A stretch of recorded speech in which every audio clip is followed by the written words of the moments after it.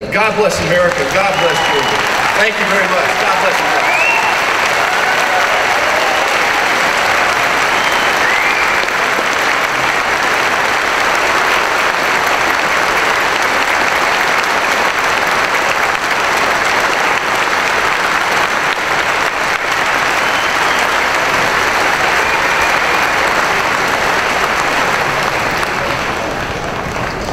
Please welcome to the stage Secretary of State Brian Kemp.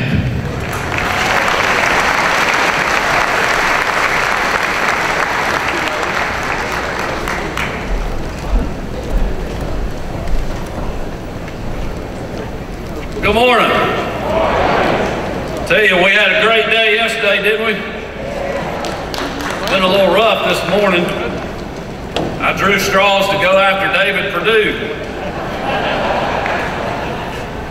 Hey, it's an exciting time to be a Republican, and it's always good to be in Athens, isn't it?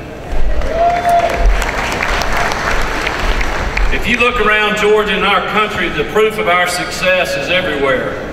We won the big races in Georgia, all the statewide offices, our legislature, the governor's office, both of our U.S. senators, and our congressional delegation, all dominated by common sense Republican leaders. Thanks to all of y'all's good work. Thank you so much. Across our country, the conservative principles of the Republican Party are rising. We have a majority of Congress, in this past election, we just saw our last speaker win a victory to the U.S. Senate and Republicans take back the U.S. Senate. No more Harry Reid, thank the Lord. Our work is not done. Bigger battles are ahead. President Obama, thankfully, very soon will go back to community organizing. But all that means is we're going to have to be more organized and work more harder than we ever have and get back to work because 2016 is a decisive year in our country's history. After eight years of President Obama's leadership, and I use that term very loosely, America is at a crossroads. For our country, we must win the White House in 2016. And because of the SEC primary, the road to the White House now goes through Georgia. And we've seen that firsthand this weekend with presidential candidates attending our convention for the first time that I can ever remember. And by the way, we have another one, Ohio Governor John Kasich coming to the Walton County GOP barbecue at Roy Roberts Farm on May the 26th. I hope we'll see you there. Also, also in August, most of the top candidates will again gather in Georgia, attending the Red State Tailgate in Atlanta. As you all know, my number one job as Secretary of State is providing secure, accessible, and fair elections in Georgia. I make sure the playing field is level for anyone who wants to participate in the elections process. As you saw last year, I have a zero tolerance policy for voter fraud by anyone.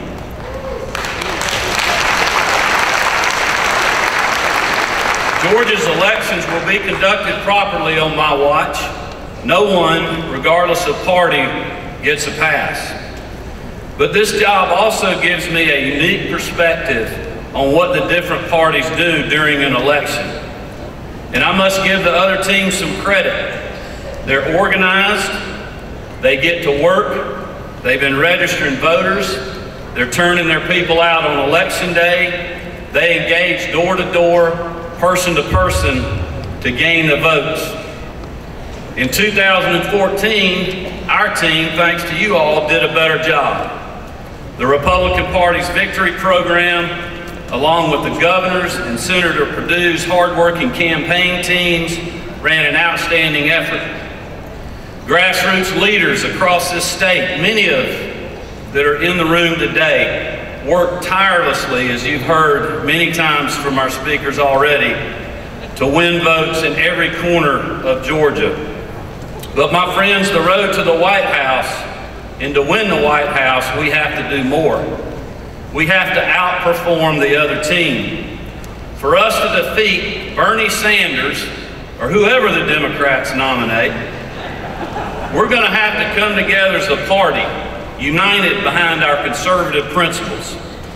We also must have the passion that we had in 2002, the passion that we had right here in Athens, this blue dot in the Red Sea, where many of you in this room helped me win a race that no one thought I could for the Georgia State Senate. A district that Roy Barnes won a few years earlier with around 56% of the vote. But that didn't matter because we all believed in our cause. We were passionate. We worked that way. Now it's time to do that again. So I want to encourage you to get behind your preferred candidate for president. Work for them. Give them all you've got. Because of the SEC primary, Georgia now matters, and your efforts will matter too. But when this primary is done, let's all come together. Let's come together and rally to our nominee. Let's give even more work. Let's do even more to help win Georgia, and let's win our country for our nominee. And if we do this, the rest of the ticket will be in great shape, including our good friend Senator Johnny Isakson. But it is truly up to us. So please join me and let's work together and let's win the White House for America and for us in 2016. Thank you and God bless you.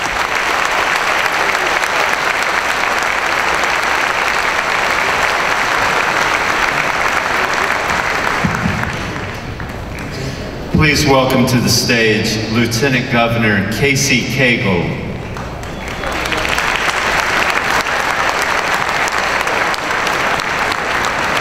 thank you all very, very much. Uh, it is uh, indeed a great honor to be here today. Uh, they were hazing me in the back, I might add, because they said, you're not going to take 30 minutes, are you? I assured them that I would not. Um, but it is great to be back. Uh, yeah, I get a round of applause for 20 yeah, for, for agreeing to that. Uh, it is it's great to be here. I spoke this morning at the breakfast and I shared with them you know, a little bit of my journey. Uh, and when you come to occasions like this, individ individuals that have given so much of their time and resources for decades, I think about 1994 when I was first elected to the state senate. Uh, you could literally put the Republican Party in Hall County in a phone booth in that day. We had a guy by the name of Gordon Sawyer, an individual who had ran for the state senate two years earlier. And he came up with a slogan, and it was vote conservative, vote Republican. And we took that message all across that county. As you can imagine, being the first elected state senator, I couldn't raise any money. But I did have enough people in the chicken business that would help out and enough friends to where we could barbecue chicken and sell them for $10 a plate and raise $20,000 and ended up winning by 56% of the vote. The reason we did that is because we organized a grassroots campaign. We had phone booths, we had individuals going door to door, and we didn't have any choice. But today, we are much more blessed because we're in the majority. We have the ability to raise money and have resources that traditionally we would not have had. The key for us is to continue to remember where we came from to never let go of those things, those fundamentals that we have to build upon in order to continue within uh, to be prosperous as a party. The other thing that I will tell you is that we have to always be mindful not only of where we come from, but also where we're going. The thing that makes the Republican Party so special is that we are not a party like the Democrats who believe in socialism and liberalism. What we believe in fundamentally is prosperity and opportunity. What we believe in is no matter where you come from, no matter what your circumstances, you can always end up successfully because we don't believe in a handout, but a hand up. It's fundamentally different, and it's who makes us different and unique. What always encourages me is when we have those special opportunities that remind us the reason that we're here. As many of you know, education has been a huge platform for me, an issue that I care passionately about. And the college and career academies and the charter systems that we created and the prosperity that's been created as a result of that has been very special. But what is the most unique thing is sitting down with a student in a part of our state. I sat there with this young lady, and she said to me, she said, a year ago, I would not have been able to sit here and have a conversation with the Lieutenant Governor of the state of Georgia. She said, but because of this college and career academy, because we're not referred to as students, referred to as associates. Our teachers are not teachers, they are instructors and mentors. It's a different relationship where we are expected to greet someone by a handshake and look them in the eye. That environment has changed her life, and today she is on a path for great success.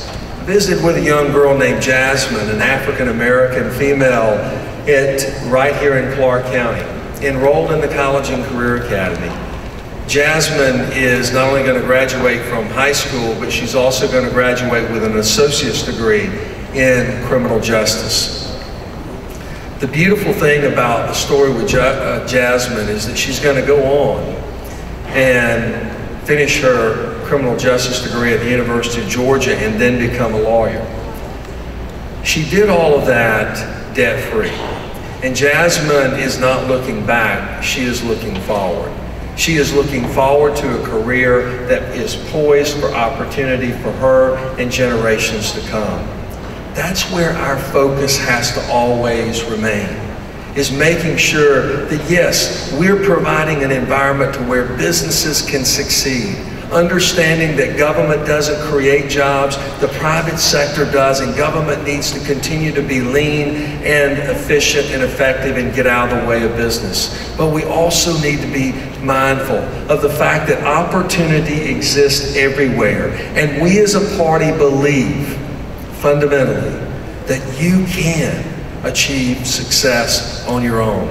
And that's what we stand for. And each of you that are part of this cause, that are part of this calling to ensure that that prosperity will exist in your community and throughout the state and are willing to get up each and every day and fight against socialism, fight against liberalism, and fight for liberty and the freedoms that we hold dear, I say thank you. I commend you for your commitment and encourage you to continue to be united in our quest.